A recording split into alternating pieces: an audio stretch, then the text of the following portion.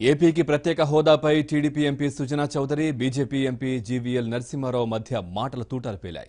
విభజన హామీలపై ఎక్కడైనా సరే చర్చించేందుకు సిద్ధమంటూ పరస్పరం సవాల్ విసురుకున్నారు. హామీల అమలుపై జీవీఎల్ అవాస్తవాలు చెబుతున్నారని ఆయనకు దమ్ముంటే తనతో చర్చకు రావాలని సుజనా సవాల్ విసిరారు. ఈ సవాల్ని స్వీకరించిన జీవీఎల్ నరసింహారావు తాను రెడీగా ఉన్నట్లు తెలిపారు. ఎప్పుడు చర్చకు వస్తారో చెప్పాలంటూ ప్రతి సవాల్ విసిరారు. చెప్పిన దానికి సమాధానం సూటిగా చెబితే మీరు ఏదైనా చేయొచ్చు. మీరు అడ్డం తిరిగి ఇటు తిరిగి అటు తిరిగి ఈ ప్రశ్న వేసి మీకు అనుకూలంగా ప్రశ్న వేసుకుంటారు మీకు అనుకూలంగా సమాధానం తెచ్చుకుంటారు. అది కాదు ఇక్కడ కావాల్సింది. ఏదైతే వాళ్ళు మొన్న ఇచ్చామని చెప్పారో పన్నెండు వందల కోట్లు ఇండస్ట్రీస్ వచ్చినాయి అని జీవీఎల్ నరసింహరావు గారు సభని తప్పుదోవ పట్టించారు.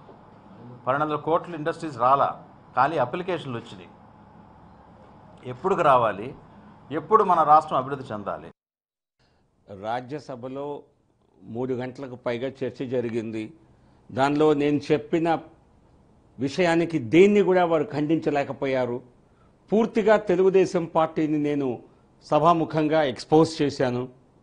బయటికి వచ్చి ఏదో ఏదో నేనేదో చెప్పినే వాస్తవాలు కాదు అని చెప్పి అబద్ధాలు చెప్తున్నారు తప్పితే నిజంగా ధైర్యం ఉంటే నా మీద ప్రివిలేజ్ మోషన్ పెట్టచ్చు కదా అదే వెంకయ్య నాయుడు గారు కూడా చెప్పారు.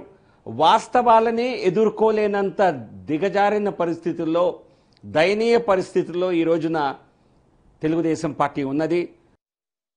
ఆయన గౌరవ రాజ్యసభ మెంబర్ కాబట్టి ఆయన అబద్ధం ఆడుతున్నారని చెప్పకూడదు. చెప్పకట్లేదు అది చెప్పట్లేదు నేను. ఆయన చెప్పేవన్నీ సత్యానికి దూరంగా ఉన్నాయి. నేను ఒక్కనే హ్యాండిల్ చేస్తాను ఆయన రమ్మనండి. ఆయన పది మందిని తీసుకురమ్మనండి పర్వాలేదు. మా ఎంపీలు అందరూ కూడా ఒక్కొక్క సబ్జెక్ట్ బ్రహ్మాండంగా చెప్పగలరు. ఆయన కంటే ఎక్కువే. సో ఇట్లాంటి అపోహలు అక్కర్లేదు. ఎప్పుడైనా సరే. ప్రిపరేషన్ కూడా అక్కర్లే మాకు. సమాధానం చెప్పానండి. ఇప్పుడు నీతి ఆయోగ్ది అసలు ఆయనకి తెలుసా తెలియదా group of chief ministers committee వేశారని నరసింహారావుతో చర్చకు నేను సవాల్ అన్నారు నేను డబల్ సవాల్. ఎప్పుడైనా ఎక్కడైనా పూర్తిగా మరొకసారి టీడీపీని ప్రజల ముందు ఎక్స్పోజ్ చేయడానికి నేను రెడీ.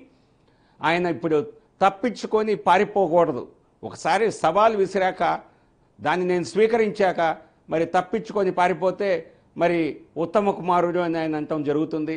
సో మరి చూద్దాం ఆయన నిజంగా సవాల్ని నిలుపుకుంటాడో బయట భయపడి పారిపోతాడు.